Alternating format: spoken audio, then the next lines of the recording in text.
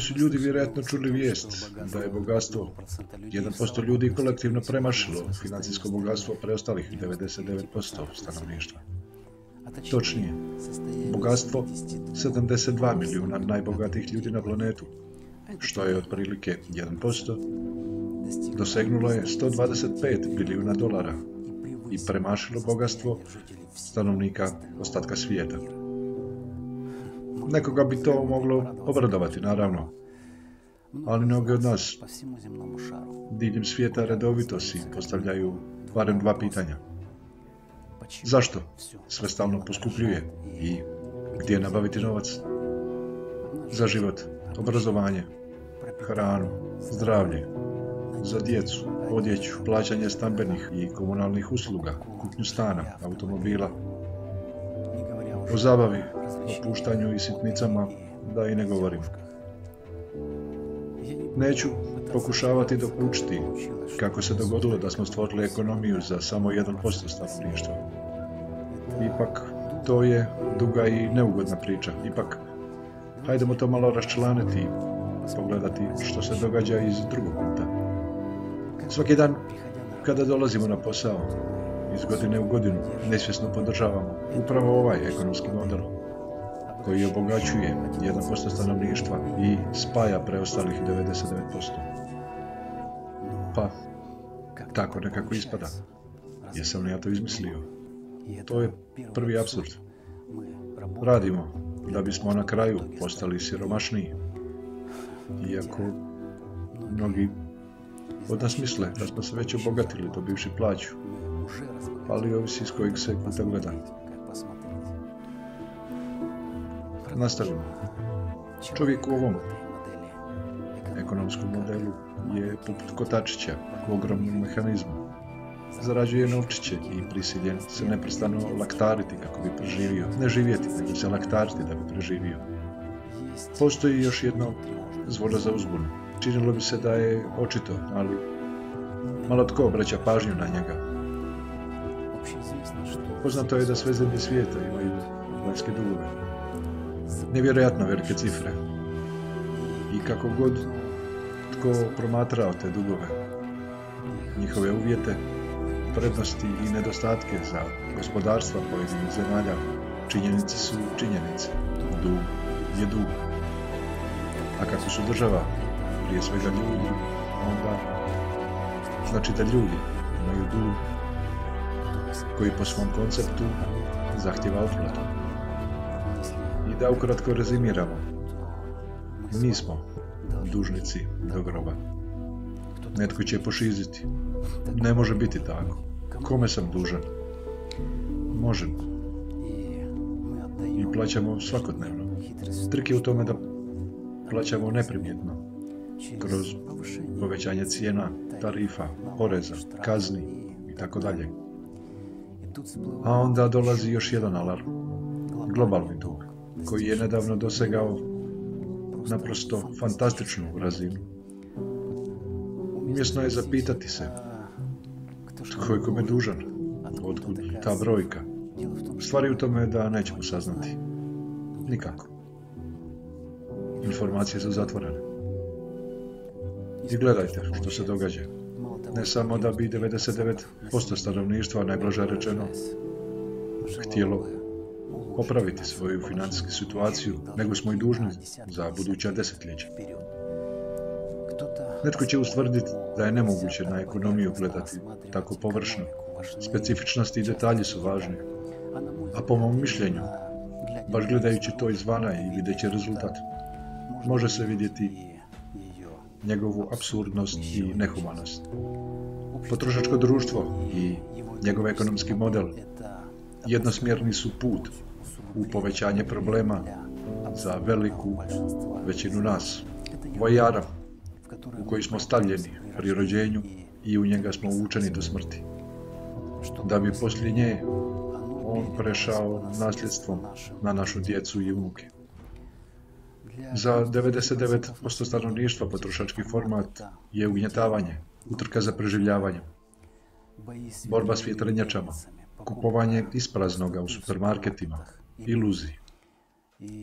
A to čovjek, nažalost, shvati tek s godinama. Da i ne govorimo o tome koliko je zločina počinjeno zbog novca, koliko se mračnih poslova sklapa sa svojom savješću, koliko nevolja proizlazi iz svega toga. Pitaće netko, čemu sva ta priča? Što pokušavaš dokazati? Nećemo ništa izmijeniti.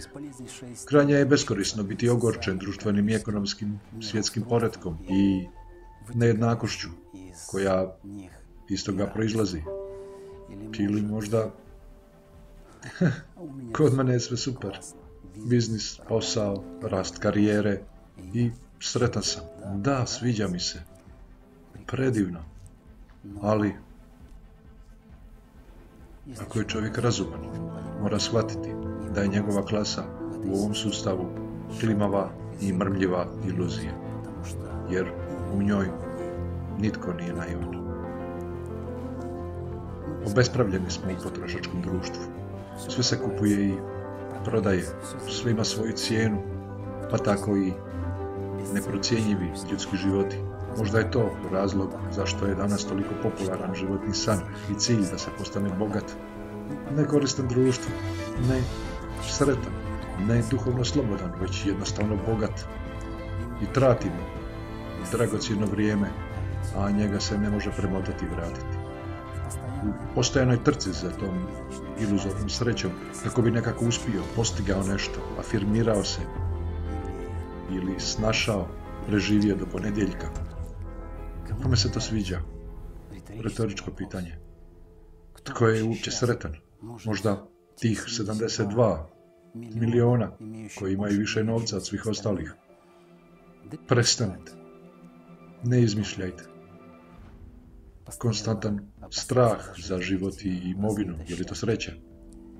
I što ispada?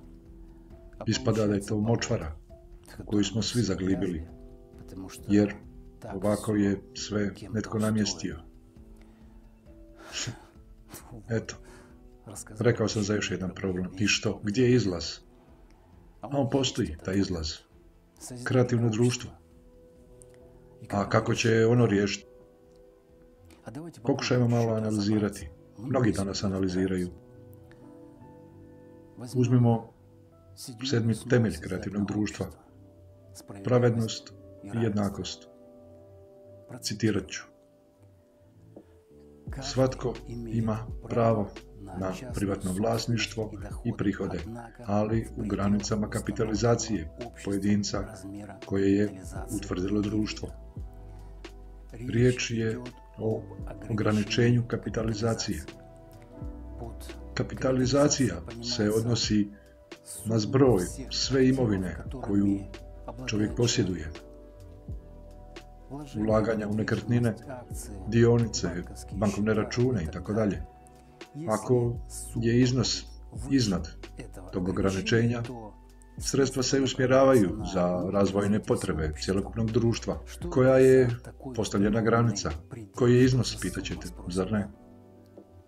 Iznos je 10 milijuna dolara mjesečno. Nisam ja to izmislio. Ja samo podržavam ono što podržavaju ljudi koji žele graditi, živjeti u društvu.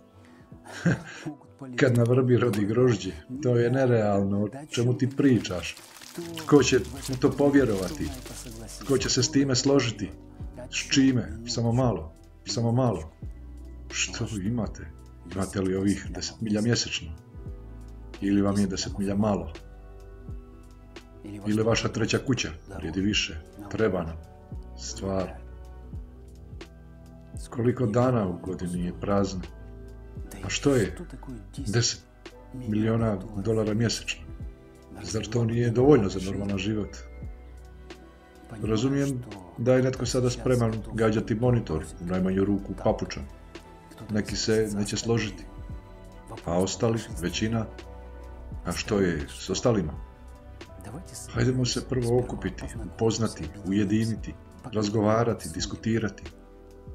Ili zamislimo nešto drugo. Koliko se novca može osloboditi i iskoristiti za potrebe svih nas kako bi se riješili nagomilani problemi. Konkretno, taj bezuvjetni temeljni dohodak koji po defaultu osigurava svaki ljudski život na planetu, jer on je najvrijedniji.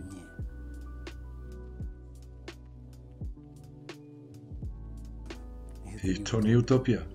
Što je utopijski ako na planetu nestane sirotinje? Siromaštvo će nestati, sve će se na nulu potrebitosti kriminal. Sve možemo promijeniti i svi će biti zadovoljni. Kreativno društvo povoljno je za apsolutno svakoga. A zato se prvo trebamo ujediniti, u to povjerovati, ne biti lijeni i danas početi sami shvaćati. Dođemo na stranicu. Pogledamo nekoliko intervjua s Igorom Mihajlovićem Danilovom, kako bismo bolje razumjeli što, kako i zašto, te koliko je stvarno.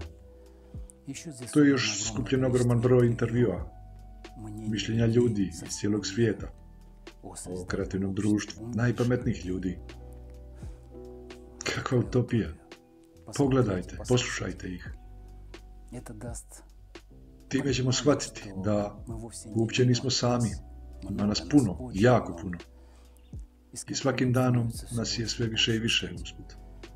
Poanta je informirati ljude što danas trebamo činiti, aktivno činiti. Počnemo nešto raditi. Ako želimo, možemo sve. Taj bolji svijet je za nas, za našu djecu. I jednog dana ćemo uspjeti. Ako budemo radili, sigurno ćemo uspjeti. Pridružite se.